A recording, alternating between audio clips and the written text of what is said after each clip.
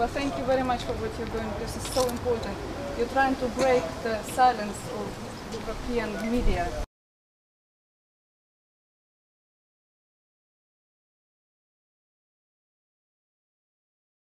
You have to understand where this began. This we're not here just talking about something which is just incepted. We're not even talking about something which began a year ago. We're talking about the president of that uh, Euromaidan, in which the media took a side. Our media took a side. If you watch BBC coverage, Daniel Sandford, they're really cheerleading for that. And then what's happened after that is they've continued to take that side, which is this ostensible pro-Ukraine side, because to change course, to change horse, would be to retract, to renege on all which had come earlier. So unfortunately they've stuck with a position which they took initially, which was a mistaken position, which was a position based in geopolitics or convenience of simply finding a convenient baddie in the form of Russia, Putin.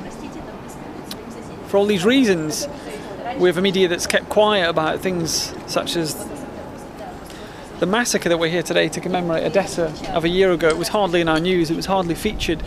And yet, at the same time, whenever there's been something which they could blame on the people that they've called separatists or even terrorists, it's been all over the news. And you don't know, you know, as a viewer, how news works. I, I've seen how news works. I've seen James Mates of ITV at a demonstration in Donetsk of Ukrainian protesters, and I've seen him just film the peaceful protesters and completely ignore the guys with masks, the guys with weapons, and then say afterwards that this peaceful march was attacked by pro-Russians when really it was led by Pravi sector who marched them into a fight, but they didn't show any of that.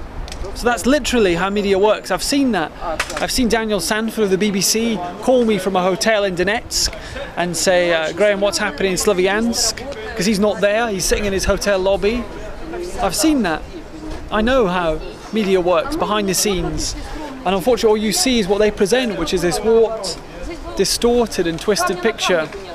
This misrepresentation, this lamentable, this reprehensible, this disgraceful, willful twisting of a situation that has a real human cost because our government in Britain supports this, this Ukraine. But it's not really Ukraine now, it's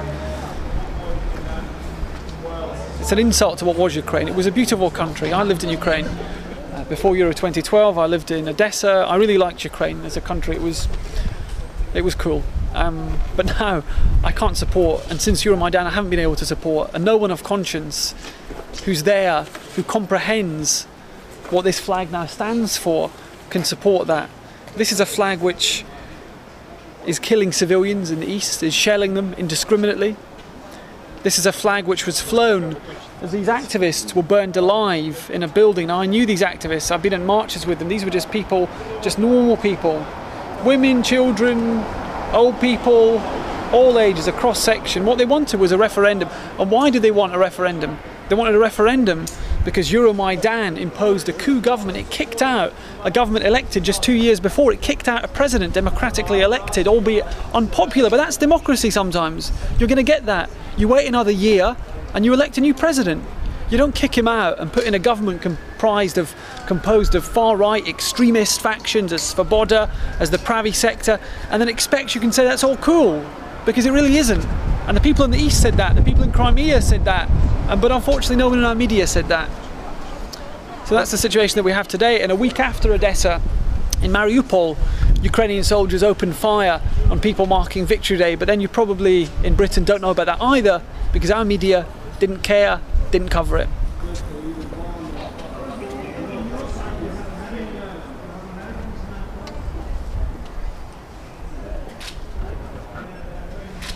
Don't sit and think the news comes to you because it doesn't. You need to want to know the news. If you want to know the situation, you can find that out. That's that's something you can search for. That's something you can know.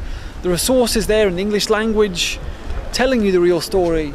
Don't be lazy. Don't sit and think that it's going to come to you served because it will come to you that way, but it won't be news. It will be propaganda.